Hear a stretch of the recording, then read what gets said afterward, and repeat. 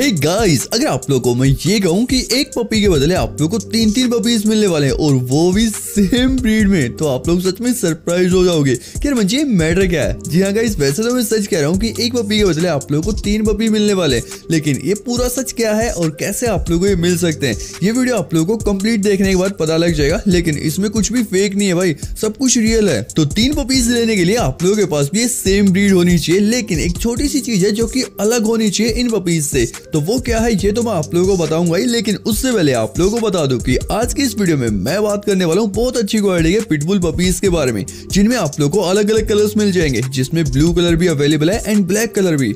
और साथ के साथ मैं आप लोगों को ये भी बता देता हूँ कि ये अमेरिकन पिटबुल है, क्योंकि फादर जो है ना, वो पिटबुल है और जो मदर है, वो अमेरिकन बुली तो ऐसा करने के दो रीजन हो जाते हैं भाई। एक तो टाइम पर उन्हें एक अच्छी क्वालिटी का डॉग नहीं मिल पाता, यानी स्टड नहीं मिल पाता मैटिंग के लिए। और दूसरी चीज़, काफ़ी लोग ये चाहते हैं कि पपीज जो ना, वो थोड़े से हैवी हो। तो इसी वजह से अमेरिकन पिटबुल बनाने के लिए उन्हें अमेरिकन बुल्ली और पिटबुल के साथ मिक्स कर देते हैं। बाकी आजकल मोस्टली लोग अमेरिकन पिटबुल को परचेज करना ही ज़्यादा पसंद करते हैं, क्योंकि भाई ये दिखने में हैवी भी होते हैं और थोड़े से मस्कुलर भी। तो ये जो अमेरिकन बुली पपीज आप लोग देख रहे हैं, इनमें एक मेल है और दो फीमेल्स हैं। और जो मेल है ना भाई, वो तो ब्लू आइज़ में है। तो आप लोगों को पता ही है कि ब्लू आईज किसी भी डॉग ब्रीड में काफ़ी ब्यूटीफुल लगती हैं। वैसे आई एम श्योर आप लोगों के माइंड में अभी भी ये चल रहा होगा कि यार ओनर को ऐसा क्या चाहिए सेम ब्रीड के अंदर जिसकी वजह से वो तीन तीन पपीज को देने के लिए तैयार है। तो पहली चीज़ तो ये कि एक एक्सचेंज ऑफ़र है, जो कि शायद आप लोग स्टार्टिंग में ही समझ गए होंगे। तो देखो ओनर जो है ना, वो पिटबुल के साथ एक्सचेंज कर लेंगे और इसके अलावा जो एक और डॉग ब्रीड है, वो है अमेरिकन बुली लेकिन दोनों में एक चीज़ सेम होनी चाहिए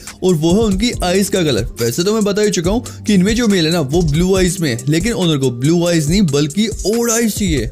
तो भाई, एक बीट तो ऐसी है जिसमें ओड आइस इजिली मिल जाता है वो है सेवन एस की। लेकिन दूसरी डॉग स्पीड में ओड आइस का मिलना थोड़ा सा मुश्किल काम होता है। लेकिन अगर आप लोगों के पास है अमेरिकन बुली या फिर पिटबुल में तो वो ऑफ़र आप लोग डॉग ओनर को दे सकते हैं। आप लोग एक पपी अगर ओडाइस का देते हो तो ये तीनों आप लोगों को मिल जाएँगे। वैसे डोंट वरी अगर आप लोग इन पपीज के साथ एक्सचेंज नहीं, बल्कि इन्हें परचेज करना चाहते हो तो वो ऑप्शन भी आप लोगों को मिल जाएगा। और अगर इनके पेरेंट्स की बात करें तो उनकी फ़ोटो वीडियोस ओनर से आप लोग ही कॉन्टेक्ट करके ले सकते हैं। तो चलिए अब मैं आप लोगों को इनके प्राइसिंग के बारे में बता देता हूँ। सबसे पहले अगर इनकी एज के बारे में बात करें तो पपीज जो है ये फिफ्टी डेज़ के हो चुके हैं। एंड ओनर की जो लोकेशन है, वो है लखनऊ, उत्तर प्रदेश से। डायरेक्ट जाकर परचेज कर सकते हो, या फिर डिलीवरी आप लोग को लखनऊ के अंदर मिल जाएगी। लेकिन इससे बाहर अगर आप लोग कहीं दूसरी सिटीज़ में रहते हो तो वहाँ पर डिलीवरी पॉसिबल नहीं हो पाएगी। और हाँ गाइज़ ओनर का एक चीज़ और कहना है, और वो ये है कि आप लोग जितना पॉसिबल हो सके ना, उन्हें मैसेज करें, क्योंकि शायद कॉल को वो अटेंड नहीं कर पाएँगे। इसका रीजन क्या है, ये तो मुझे नहीं पता। लेकिन प्राइस के बारे में आप लोगों को बता देता हूँ। तो अगर आप लोग मेल को परचेज करना चाहते हो, जो की ब्लू आइस में इसका प्राइस एट थाउज़ेंड पीस यानी आठ हज़ार रुपए और अगर आप लोग फीमेल्स को लेना चाहते हो तो फीमेल जो है आप लोगों को जस्ट फाइव थाउज़ेंड पीस यानी सिर्फ़ पाँच हज़ार रुपए में मिल जाएँगी। और कैसे ऐसे इंटरेस्टिंग वीडियोस भी पाना चाहते हैं उसके लिए आप लोग चैनल को सब्सक्राइब कर लो बेल के आइकन को ऑल पर कर लो। मिलता हूँ अगली वीडियो में। Take care and bye